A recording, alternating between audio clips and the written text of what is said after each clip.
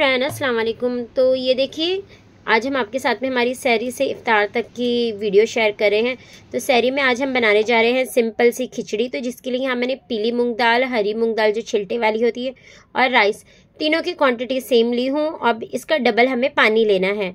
हम इसे बगार नहीं रहे हैं, डायरेक्ट बना रहे हैं। क्योंकि इतना मतलब ज़्यादा टाइम नहीं होता है और ये हमारी फ़र्स्ट सैरी थी तो हमें ज़्यादा हैवी भी खाना नहीं था। तो इसके लिए हम लाइट ऐड कर रहे हैं और इसमें अभी जाएगा हाफ़ अनियन है, अगर छोटी है तो अक्खी डाल दीजिए, दो हरी मिर्चें हैं और वन टेबल स्पून के करीब लहसन है वन टीस्पून के करीब ज़ीरा है वन टेबल स्पून के करीब कड़ी पत्ता है और वन टेबल स्पून कोतमीर है वन टीस्पून के करीब सॉल्ट है। तो अच्छी तरीके से ये इसमें डाल देंगे। आप चाहो तो इसे बघार के भी डाल सकते हो। पहले आप घी डाल के ये सारी चीज़ें डाल दीजिए। उसके बाद में आपका राइस और चावल डाल दीजिएगा। और अभी हम इसमें ऐड कर रहे हैं देसी घी। घी डालने से इसका टेस्ट बहुत अच्छा आता है। अगर हम इसे बघार नहीं रहे हैं तो ऑयल मत डालिएगा आप ऊपर से। ऑयल अगर आप डालोगे तो इसका टेस्ट ख़राब हो जाएगा। और देसी घी अगर आपके पास नहीं है तो आप कोई भी नॉर्मल डालडा घी भी डाल सकते हो। लेकिन आपको इसे गरम गरम सर्व करना है। और ये आम टाइम में हम बच्चों को भी बना के दे सकते हैं, बहुत ही अच्छी बन के रेडी होती है। और ये दूसरे साइड में हमारी जो रात की सब्ज़ी बची थी, भाजी थी मिक्स वेज हमने बनाए थे तो वो गर्म करने के लिए रख दिए हैं। और ये देखिए हमारी जो खिचड़ी है, वो भी अभी अच्छी तरीके से पकने आई है। तो जैसे हमारी खिचड़ी होगी, हम इसे दम लगा लेंगे। और ये हमारी भाजी जो है, वो गर्म हो गई है अच्छी तरीके से। और हमने हमारे लिए रोटी भी बना लिए थे। तो ये देखिए, अभी जब तक मैं हस्बैंड को रोटी और भाजी देती हूँ और वैसे ही हमारी ये खिचड़ी भी देखिए, अभी होने आई है तो इसे दम पे रख देंगे। और अभी हम निकाल रहे हैं हमारी दही। तो ये मैंने एक कप भर के दही ले ली हूँ, क्योंकि सैरी में दही खाने से पेट में थोड़ा ठंडा भी रहता है और अच्छा भी लगता है और थोड़ा पेट मतलब भरा भरा लगता है हमें। और ये देखिए, हमारी खिचड़ी भी हो गई है माशाल्लाह से गरम गरम और गरम गरम खाना सैरी में तो बहुत मज़ा आ जाता है, क्योंकि हम सो के उठते हैं, फिर थोड़ा मतलब थकान जैसी पता नहीं लगती है। तो ठंडा ठंडा खाना खा लो तो इतना मज़ा नहीं आता है हमें। और ये देखिए, माशाल्लाह से बहुत ही अच्छी बन के रेडी होती है। आप बच्चों को भी इसे खिला सकते हो, बहुत ही यमी लगती है और ज़्यादा कुछ टाइम भी नहीं जाता है इजीली बन जाती है। और ये मैं निकाल रही हूँ थोड़ी सी ग्रीन चटनी। इसकी वीडियो मैंने आपके साथ में शेयर करी थी रमज़ान प्रिपरेशन में।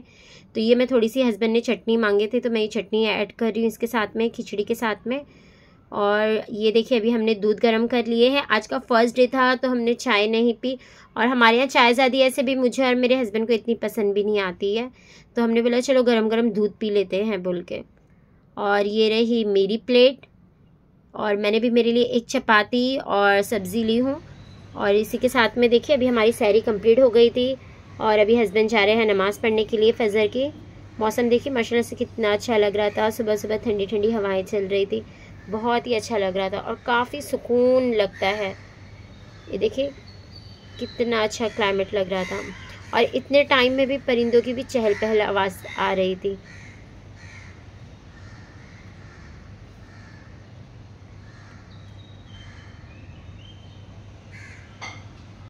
और ये देखिए, अभी बज रहे हैं दोपहर के तीन और हम नमाज़ वगैरह पढ़ के सब फारिग हो चुके थे।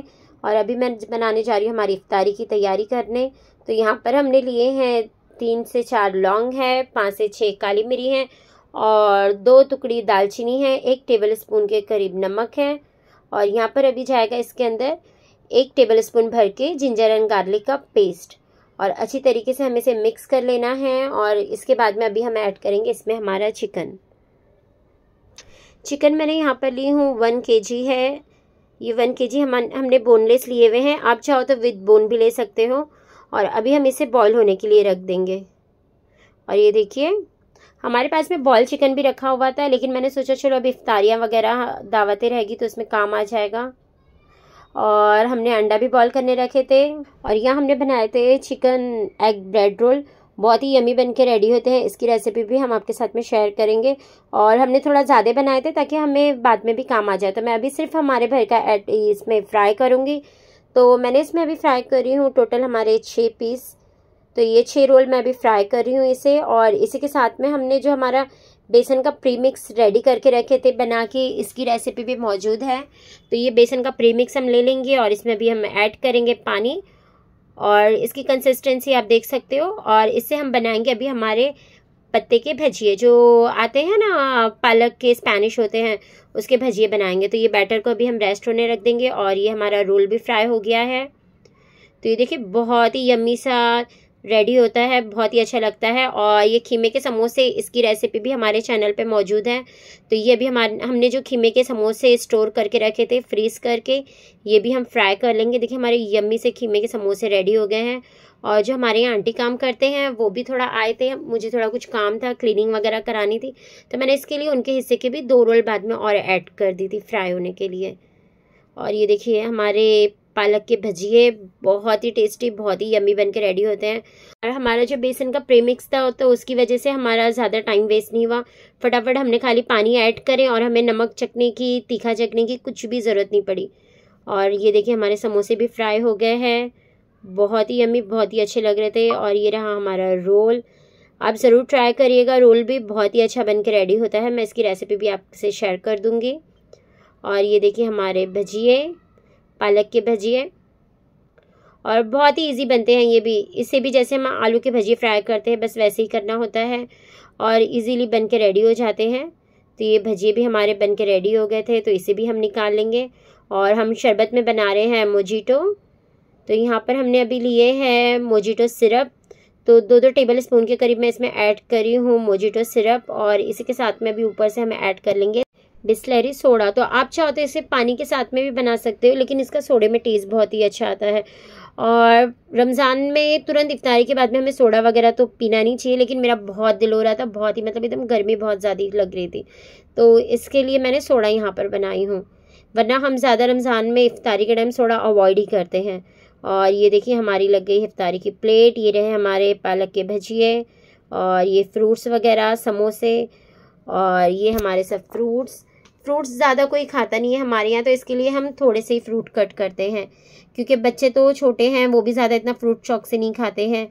और ये हमारी ग्रीन चटनी, और ये हमारा म्योनीज़, और इसी के साथ में देखिए जोहेब नमाज़ पढ़ रहा है, उसे दसर खान बिछाया तो ऐसे लग रहा है कि जहाँ नमाज़ बिछी हुई है तो इसके लिए वो नमाज़ पढ़ने की ट्राई कर रहा था।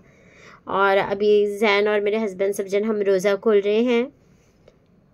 तो इसी के साथ में आपको हमारी वीडियो कैसी लगी, ज़रूर लाइक करिएगा शेयर करिएगा और कमेंट करके हमें बताइएगा। और अगर आप हमारे चैनल पे न्यू हैं तो हमें सब्सक्राइब भी करिएगा। और जो हमारा रोल था, वो हस्बैंड को बहुत ही पसंद आया। कह रहे थे, बहुत ही अच्छा बना हुआ है, बोल के। और आप भी हमारी रेसिपी ज़रूर ट्राई करिएगा। बहुत ही हमें बहुत ही अच्छी बनकर रेडी होती है। और इजीली आसानी से ये सारी चीज़ें हमारे घर में अवेलेबल होती है और बहुत ही यम्मी बनती है। और ये देखिए, मैं आपको समोसा भी दिखाऊँगी। ये देखिए हमारे खीमे के समोसे कितने यमी थे, बहुत ही टेस्टी थे। इसकी फीलिंग तो बहुत ही अच्छी रहती है खीमे के समोसों की। और ये नीचे जो हमने दस्तरखान पे रखे हैं, वो जोएब ज़िद कर रहा था तो उसे दिए तो वो पूरा घर में फैला रहा था। तो इसके लिए उससे लेके हमने वेस्ट हो गया था तो दस्तरखान पे रखे हैं। और ये देखिए सोडा जो हमने बनाए थे और इफ्तारी के लिए अजान होने वाली थी तो इसके लिए हम सब बैठ गए थे दस्तरखान पे और जैन के जो प्राउंस मैंने आपको वीडियो में बताई थी प्रिपेयर करके रखी थी पहले से मसाला लगा के। तो वो मैं अभी नमाज़ के बाद में जैन को दे रही हूँ बना के फ्राई करके।